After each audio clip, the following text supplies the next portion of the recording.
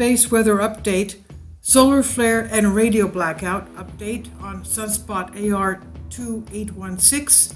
It erupted, causing an M1 class solar flare. This happened on April 19, and it's incoming. NASA Solar Dynamics Observatory recorded the extreme ultraviolet flash. Now, what is an M1 class solar flare? A solar flare is an explosion of the sun that happens when energy stored in twisted magnetic fields, usually above sunspots, is suddenly released. The flares produce a burst of radiation across the electromagnetic spectrum, from radio waves to X rays and even gamma rays.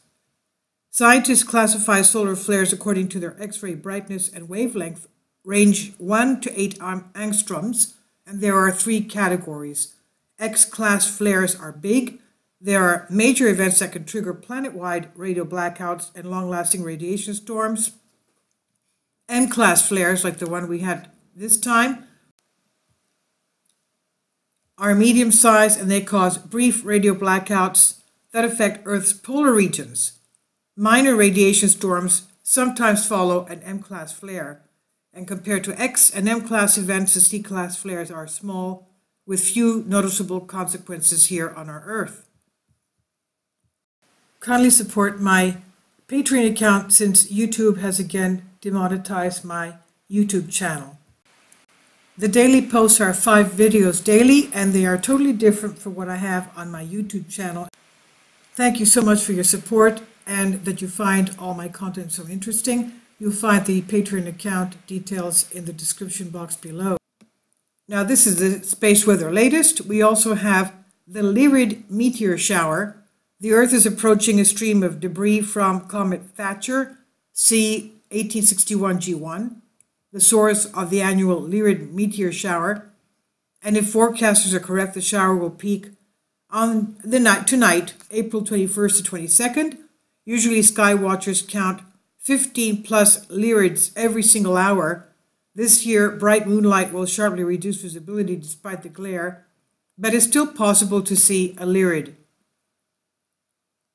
Now, this solar flare that we had, we're talking about the M1 class from spot sunspot AR 2816. One of the strongest flares of young solar cycle 25. A pulse of X rays and ultraviolet radiation from the flare ionized the top of Earth's atmosphere, causing a shortwave radio blackout over the Pacific Ocean. This is the blackout map that we see, according to NOAA. The high frequency, you can see the red, no, the purple, blue, uh, light blue, green, yellow, the most intense.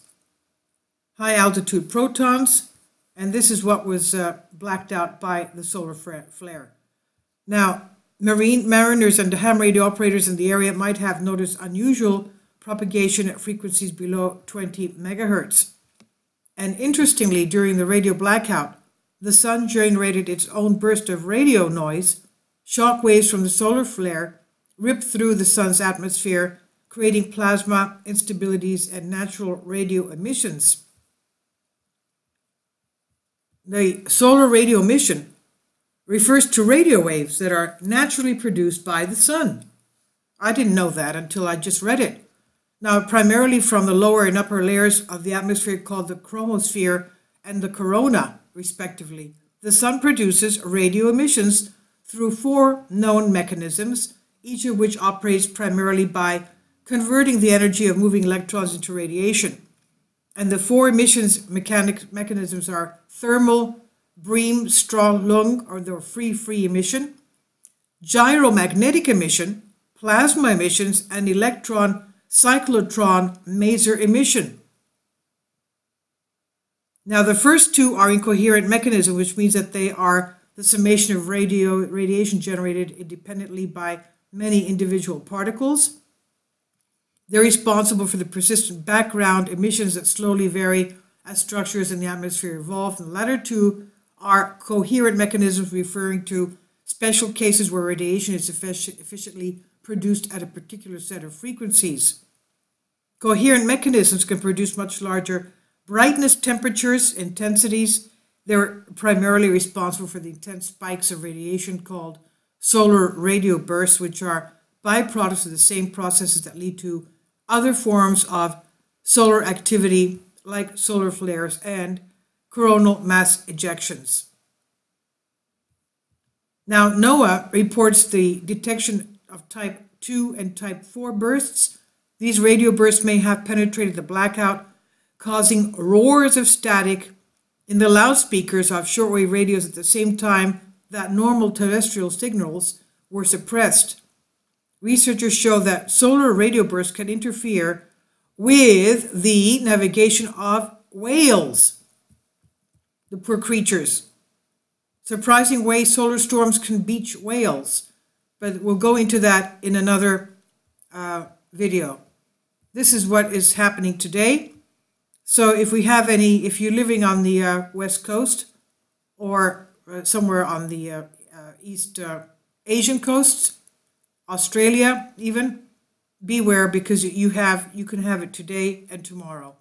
Radio interference from this solar flare. Thank you for your support.